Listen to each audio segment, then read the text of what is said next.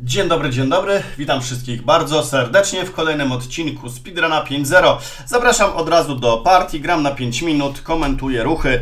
Ranking 2099. Zaczynałem z 1000. E, moim celem jest zrobienie 2600. Będzie to trudne, ale mam nadzieję, że możliwe. Póki co gramy. Posunięcie E4.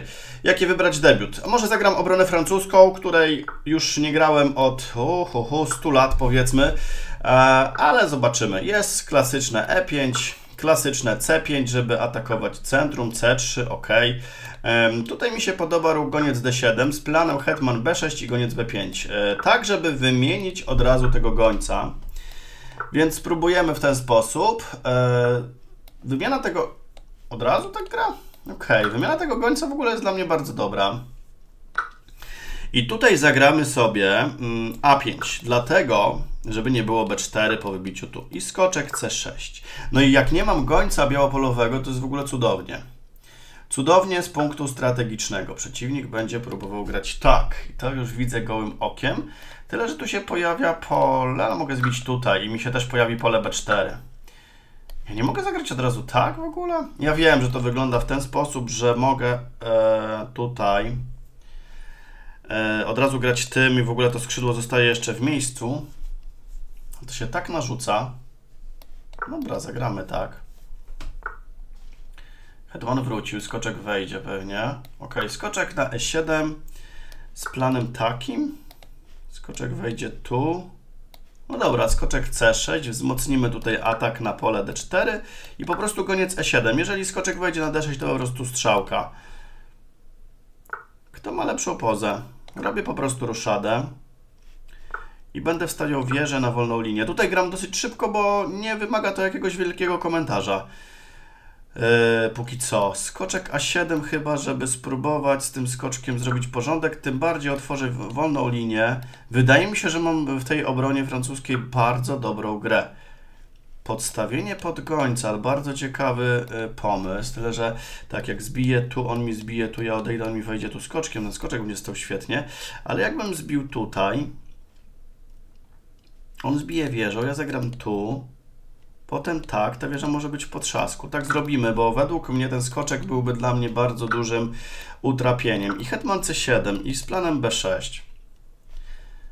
Oczywiście może goniec zagrać tutaj mi skosić skoczka, ale ja zagram b6, odbiję tym, ta wieża będzie wiecznie tu stała. Chociaż pytanie, czy ja tego pionka b6 będę w stanie obronić e, do końca. No właśnie, zobaczcie, tak jakby słyszał. Chociaż to nie są jakieś tam mega trudne rzeczy. No dobra, gram z tym planem, co mówiłem, potem zbiję tutaj.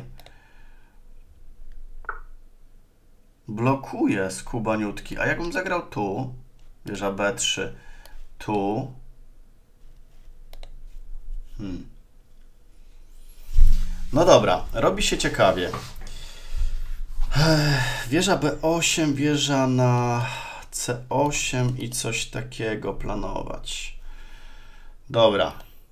Skoczek A2, strzałka tu, tu. Końcówka wydawałaby się dobra. Spróbujemy skoczek A2 z biciem. Żeby jednak tutaj spróbować grać na swoich warunkach, no bo uprzątnięcie tego gońca może być dla nas ok. Najwyżej hetman B3, bicie, bicie, tu się wymieni do końca, wieża zbije, tu, tu i goniec B4. Co?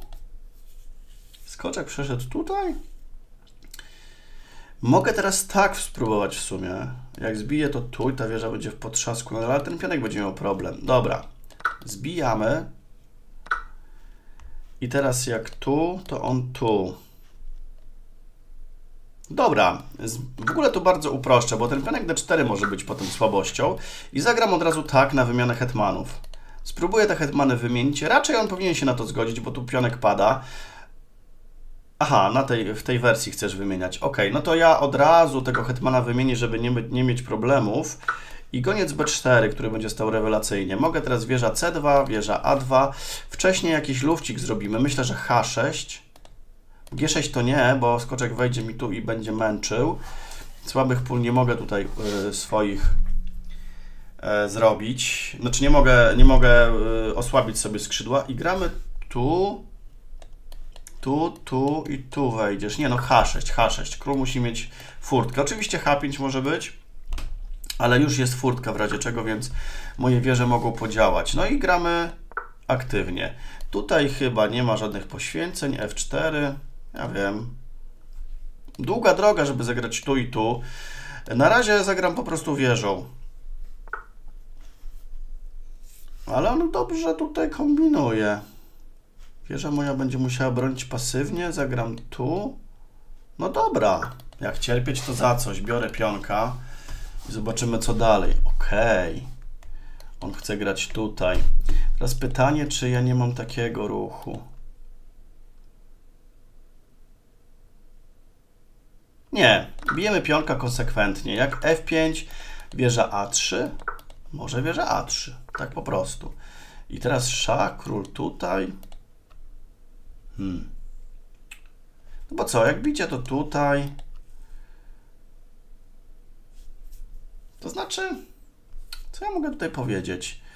Tu się chyba nie dzieje mi jakaś krzywda. Wieża C8. Wolna linia. Bicie to bicie. Jak tu, to zawsze mogę obronić. Albo dać szacha tędy. No właśnie, on otworzył kolejną linię, gdzie ja będę mógł go próbować atakować. Najpierw tak chyba, bo jak król pójdzie tutaj, to tu. No wieża B6 ewentualnie na tego pionka, to jest jakiś tam e, mały mankament, ale mam pionka więcej sobie stoi. Nie, no to jest dobra pozycja. Nie, no bez przesady. To jest bardzo dobra pozycja. Tu jest wszystko ok. No właśnie, wieża B6. I teraz tak. Kryjemy szacha. Jak król tu, to zawsze szacha. Potem jakaś wieża E2. Z tempem zawsze mogę wrócić, obronić tego. Pionka. Ok, no dajmy tego szacha tu. On musi iść tak. I tu, tutaj. To tak. Bo teraz wieża D3 prawdopodobnie, żeby skoczkę obronić. Dokładnie tak. Pytanie, czy ja tutaj nie mam siatek matowych. Póki co nie widzę. Na spokojnie zagramy wieża E8. Na spokojnie. No oczywiście on może wrócić. W sumie nic z tego chyba dobrego nie wyszło. Poza tym, że... Co?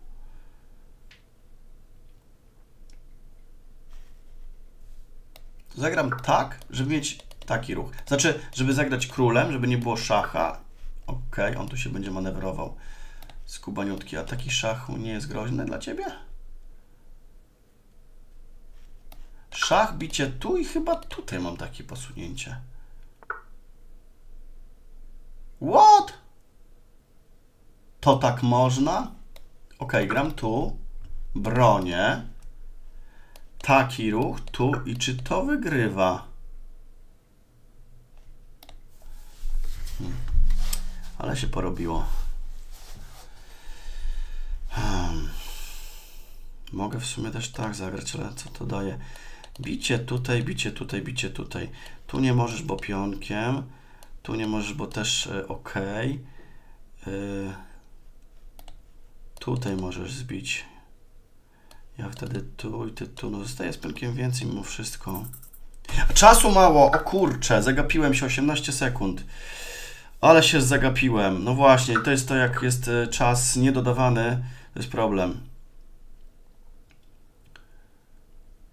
Ojejku, to nawet będzie ciężko zamatować. Zagapiłem się kompletnie, widzicie? I to jest właśnie ten mój... Aj, dobra. A tutaj, ale tutaj mam bicie, ok. I tak będzie przewaga. Ach, muszę tak. Dobra, ale to nie jest źle. To nie jest źle. To nie jest, to nie jest źle, to nie jest zła pozycja. To nie jest zła pozycja, to jest nawet bardzo dobra pozycja, tylko mam mało czasu, żeby to realizować. Tutaj już się zasłonię. Zasłonię się tu, tu. Pionek do góry. 9 sekund. Ajajaj. On jeszcze na czas mi tutaj próbuje dyrygować. Dobra.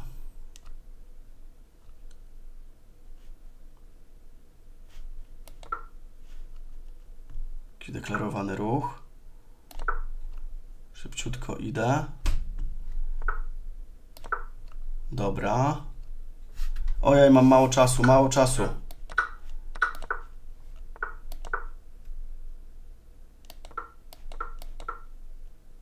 Nie mogę deklarowanego ruchu zrobić. Ajajaj. Aj, aj.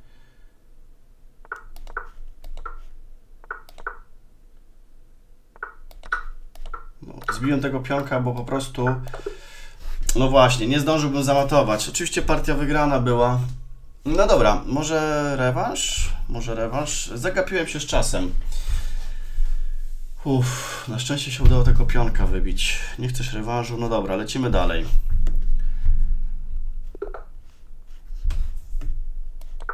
Niech będzie ruch E4, 2, 103. Teraz obrona francuska z drugiej strony, ok.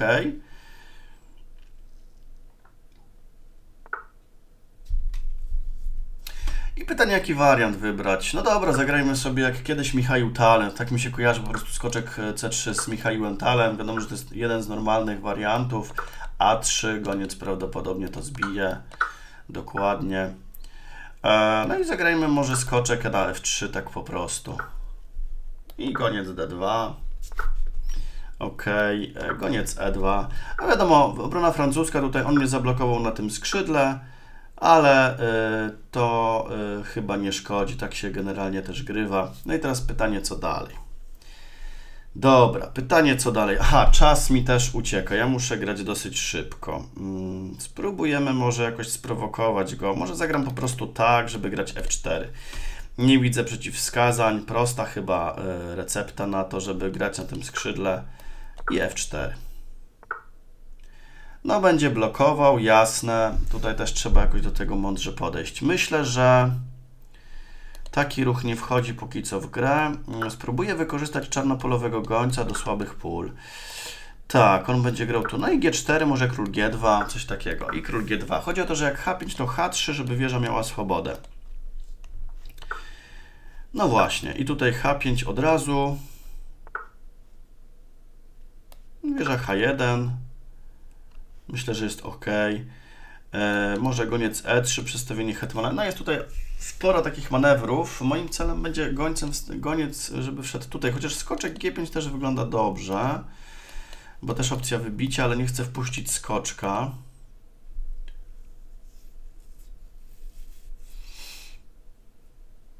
Zapomniałem w tamtej partii o czasie. Jeszcze myślę o tamtej partii, bez sensu, co nie? No nie, nie można rozmyślać, ale faktycznie jakoś tak za wolno, za wolno to poszło. Teraz muszę zwracać na to uwagę. Dobra, na razie tak, na spokojnie. Przestawię sobie gońca. Um, żeby mieć też tutaj hetmana. O właśnie, żeby wieża się połączyła z hetmanem. On chce otwierać pozycję w momencie, gdy to ja to powinienem robić? Bardzo chętnie. Zastanawiam się nawet nad tym ruchem. Czy tutaj walnąć. Dobra, skoczek niech będzie na G5. Tak, żeby on złapał jakieś tam sobie pola. Niekoniecznie tutaj coś konkretnego jest. Ale dziwi mnie F6. Może to jest też jakiś, jakiś plan we Francuzie. Muszę trzymać pole G4, bo nie chcę wpuścić tu skoczka. Nie mogę. Będzie mi to bardzo, bardzo przeszkadzało. Y, jaki plan dalej? No może goniec tu, goniec tu. E, hmm. Zobaczymy, co jeszcze przeciwnik zrobi. Właśnie to jest to, że też czarne muszą grać jakieś posunięcia. No dobra, zagram wieżę F1. Chodzi o to, że zmuszę go może teraz do tego ruchu, bo to wygląda kusząco, gdy wieża nie będzie miała tej mm, tutaj e, obrończyni, ale zawsze w jednym posunięciu mogę wrócić. Więc to jest taka mała prowokacja. No właśnie, zobaczcie, udała się. Bicie, bicie. No i jest tutaj ruch, więc wieża H1 z powrotem. Tu się bronimy. Ok. Ta wymiana myślę, że będzie dla mnie w porządku.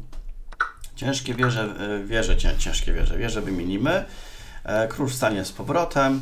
Ten pionek jest słabością, to jest e, mankament. Hetman wejdzie, to też nic nie zrobi. I teraz tak, ten pionek jest słaby, czy końcówka tu jest dla mnie dobra? Hmm, hetmany chyba trzeba będzie wymienić. Wydaje mi się, że może być dobra. Mam teraz takie wtrącenie, takie, ale to nic chyba nie daje. Tak patrzę szybko, gołym okiem. No nie, przejdźmy tu, bo skoczek chce wejść na pewno tutaj. Będziemy to pilnować. I hetman tu, żeby zagrać tak na przykład.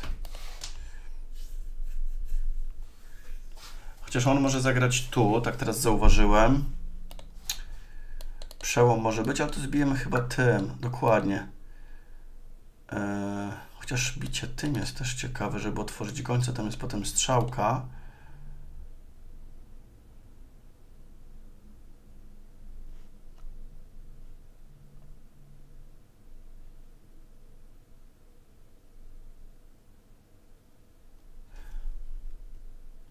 Nie no, chyba tym trzeba. Trzeba, trzeba tym. Tutaj będzie wymiana, ale to się wszystko pilnuje, więc e, zastanawiam się, czy on błędu nie popełnił. No muszę to zbić. I zbijam chyba tam. Tu jest bezpiecznie. Skoczek broni. Zdobywam po prostu pionka. Goniec się mi rozciąga. Mogę zagrać po prostu gońcem tutaj. I tym hetmanem podziałać. Pionek więcej. Chyba to jest dobra wersja. Wiadomo, że jak zbiję skoczek, to ja tym hetmanem się dorwę do, do króla. Tutaj skoczek broni, tutaj, o właśnie. I mam ruch koniec C5 na szczęście. I mogę wstawić gońca tutaj. Siatki matowe się trzymają. Muszę zagrać tak i pilnować tu, bo groziło bicie. No i teraz w jednym ruchu mogę zagrać tak i grozić matem, więc on nie może sobie pozwolić na bicie tego. Według mnie jest bardzo, bardzo dobrze. No jakby, nie, jakby ten pionek był, to on by zagrał B6 i, i by się tutaj dobrze obronił, a się okazuje, że jednak chyba chyba wygląda to dobrze. Jak król pójdzie tu, to mam chyba wejście takie. Jeżeli tu, to dostaje przeciwnik mata. Chyba tak.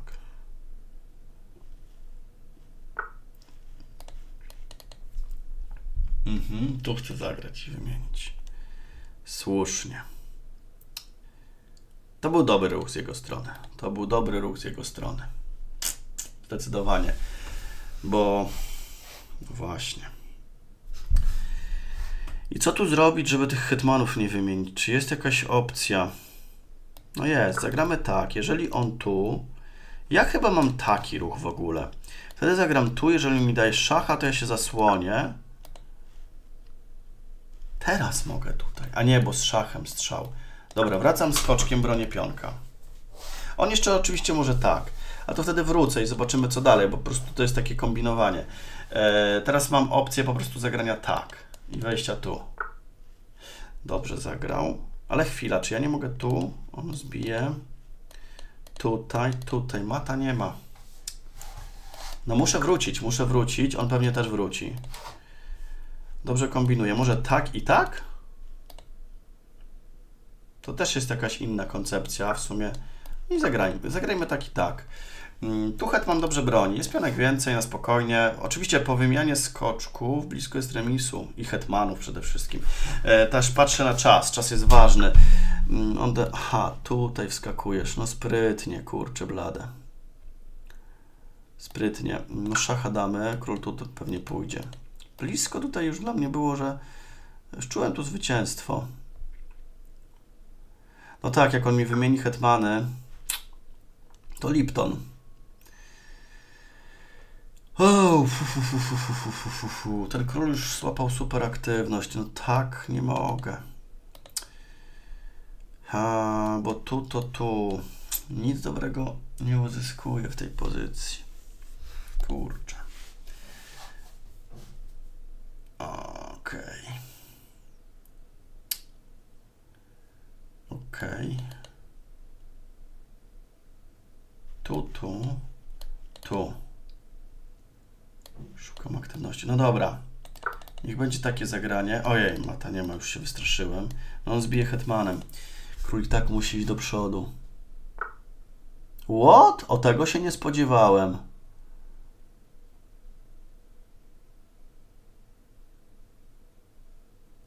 Tutaj będzie strzałka, co? Wszystko mi rozwala, no muszę to wybić. I sp... Ojejku. Tutaj. No dobrze, gość to rozegrał, no. Tego posunięcia nie rozumiem. Kompletnie. Czegoś tam nie widział pewnie. Dobra, czasu się robi mało. E, muszę tutaj grać szybko. E, dobra, próbujemy... Próbujemy tu bronić po prostu. No da szacha.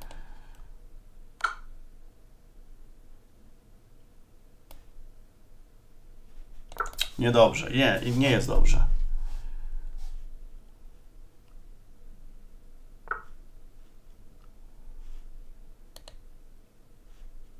Nie wiem, taki ruch. A, wymieni po prostu hetmany. Mam też taką opcję. Ojejku. Nie mogę wymienić. No to się porobiło. E, kurczę, muszę wrócić. Czasu mało.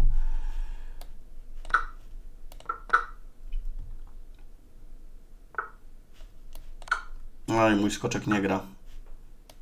No tutaj szach. On ma mało czasu. Dla mnie to... No tak. On ma mało czasu. I zwycięstwo. No słuchajcie, no tak to jest właśnie na tym czasie, gdzie nie ma dodatkowego. E, ok, lecimy dalej. No, szczęśliwe zwycięstwo. Działo się trochę. Gdzieś tam można było pewnie docisnąć. 1299 przeciwnik. Gramy D4, C4. Dobra. I skoczek F3. Goniec do szacha. Nie da. Dobra. I gramy. Tutaj mamy gambit hetmański. Takie taraszowate schematy. OK. I E3. Trzymamy tu spokojnie pionka. OK. Wszyscy chyba zadowoleni są z tej pozycji. No tak, czarne tutaj szybko sobie wymienią. I goniec E2. Będziemy działać po wolnych liniach. A4 jeszcze, żeby zagrać A5 tutaj mocniej. To jest ważny element, żeby tym pionkiem zbić tu, żeby osłabić, bo mój pionek słaby jest, a jak tego pionka wymienimy, no to jego pionka możemy próbować atakować. Pozycja jest dosyć oklepana. Jest dosyć oklepana. Tutaj e, może tak po prostu. I H3. Zagramy tutaj H3, żeby mieć lufcik dla króla. No, seria wymian może nastąpić, ale ten lufcik jest mi bardzo potrzebny. Liczę się oczywiście z tym biciem. No i tutaj co? No trzeba trzasnąć. Wymienić tam. On zbije. A, no to wygrywam. Hello. A, musi skoczkiem zbić. Dobra, bo jak zbiję pionkiem, to wygrywam figurę, bo tam, tam i hetman c8. E, jeszcze tak może zagrać? Zbił skoczkiem, ok. No ale teraz co? Teraz gram tak. On może tutaj, strzał, strzał i zdobędę pionka, tak jak mówiłem właśnie.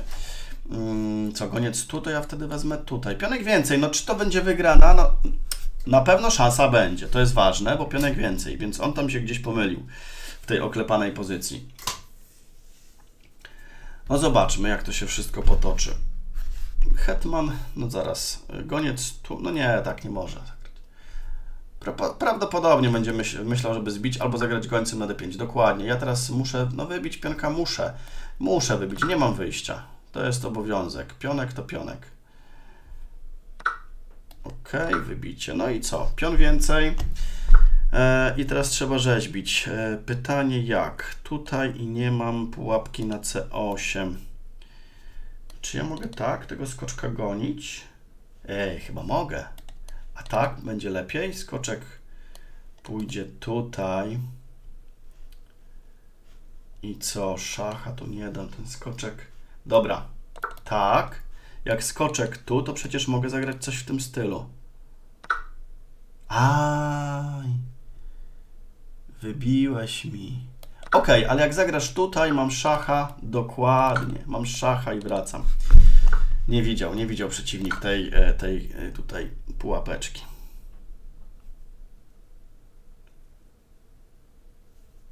Taktyka do końca. Fajnie, fajnie wyszło. Spróbujemy rewanż.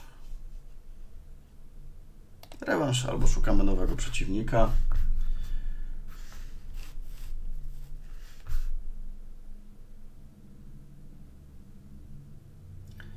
No i widzimy, że słuchajcie, już na tym poziomie 226 już się pojawia e, taki mikroproblem z tym, żeby znaleźć sobie przeciwnika.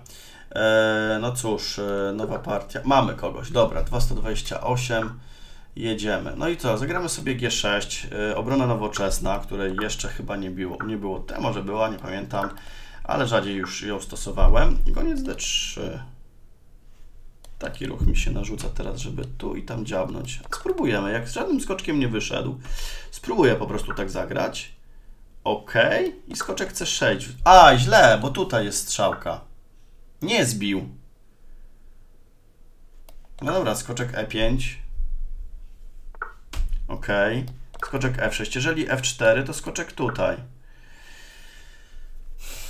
Wszystko widzi, ale przecież ja biorę pionka. Nie, nie biorę, bo tu jest strzał, ale sprytnie. Dobra, roszada. Ale sprytnie. No nie, no to on chyba tego nie widział, jak zagrał Hetman D2. Po prostu podstawił. No słuchajcie, zobaczcie, no jaka prosta podstawka, pionka. Tak zwyczajnie. W ogóle jego skoczki nie wyszły, a to gońce powinien wyjść później niż skoczki, a to się stało odwrotnie i są dzięki temu konsekwencje dobre dla czarnych. No i mam tutaj bicie chyba z tempem, bo mogę zbić po prostu i atakuję kolejnego gońca, więc e, no może oczywiście też odbić tak, tak, tak. No to też już jest tutaj już partia wygrana. Partia wygrana. No wiadomo, tutaj możesz e, zagrać e, chyba co? Odejście. Odejście takie. Taki ruch niegroźny, grożą widełki na G3. Grozi D5, grozi wzięcie pionka. Chyba wzięcie pionka będzie najprostszym rozwiązaniem. No tak, bo jak on tutaj, ja tu, ha, może odejść tu, tu i tu. Tego nie chcemy, to po biciu po prostu zbijemy wieża E8. Dokładnie tak. Wieża E8 tutaj będzie grała dobrze. Mamy dwa pionki więcej, więc nie muszę jeszcze mocniej zdobywać kolejnej przewagi. Właśnie w szachach to jest tak, że trzeba zachować tutaj umiar, po prostu figury włączyć do gry. No i co? Wieża wchodzi na E3, no to jest kompletny wór. Tylko zrealizować to jeszcze trzeba. Wieża E3. Czekajcie, co on tam jeszcze chce. Skoczkiem mogę go sparaliżować też mocno, więc tak spróbuję. Po prostu król nie ma roszady, a grozi y, na C2. Może taki ruch i taki. Jak tu on mi zbije pionka, to też wieża B8 i kolejne pionki będą leciały, kolejna super aktywność, więc na to idę w ciemno w ogóle. Król na F2, ok. I koniec tu, koniec tu.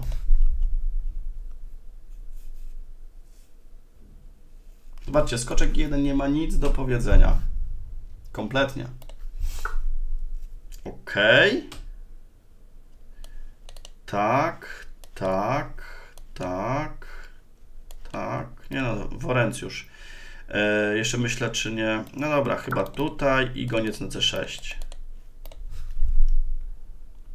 Tutaj, bo jeżeli on zbije wieżę, jak zagra na C1, to mam bicie na E4 z kolejnymi, e, no, z kolejnym materiałem, który tutaj się zdobywa.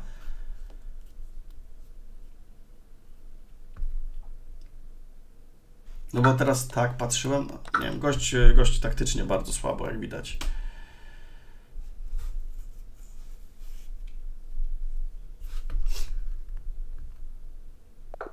No i mamy zwycięstwo. Moi drodzy, dziękuję za dzisiaj e, i zapraszam do kolejnych odcinków. E, przypominam o szachowo.pl. Macie tam 10% zniżki na zakupy szachowe. Fantastyczny sklep. Do zobaczenia, cześć.